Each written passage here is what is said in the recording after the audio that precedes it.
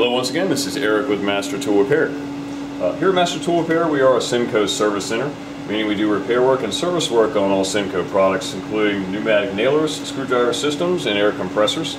Uh, we also sell parts for SENCO products. Visit our website at mastertoolrepair.com for more information or call into a sales rep for uh, more assistance. We'd be glad to help you further.